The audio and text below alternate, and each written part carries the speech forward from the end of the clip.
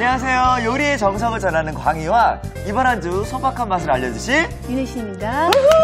선생님 오랜만에 봬요. 네. 선생님 잘 지내셨어요? 잘 지냈어요. 아, 이야기 들어보니까 선생님 네. 텃밭을 가꾸신다고 이야기 들었는데 네. 텃밭에서는 어떤 채소가 많이 나요? 요즘은 뭐 상추, 네. 그다음에 오이도 나고요, 감자, 풋고추 그런 것들이 많이 나고 있어요. 그럼 그 중에서 그 네. 재료를 이용해서는 맛있는 네. 요리 한번 만들어 볼까요? 그럴까요? 어떤 걸로 만들어 네, 볼까요? 이번에는 돼지 감자 조림하고요. 네. 그다음에 감자 장아찌를 좀 만들어 보려고 그래요. 어, 감자로 맛있는 요리 두 가지를 만드네요. 네네. 너무 기대가 되는데 빨리 만들어 볼까요? 그럴까요? 자, 오늘 요리에 필요한 재료를 공개합니다.